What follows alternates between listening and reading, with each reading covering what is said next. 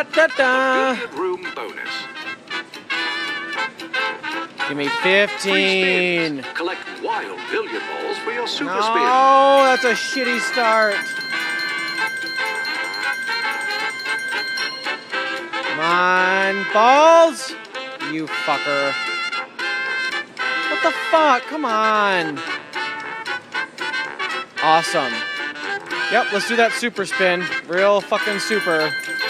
Time for the super spin. Super. Shit. Find the magnifying glass for a chance to make an accusation.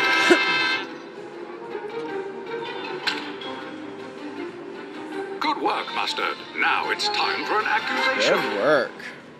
Wow, that bonus sucked ass. Colonel Mustard claimed Boddy had been slain with the rope by Colonel Mustard during a bout of amnesia in the billiard room.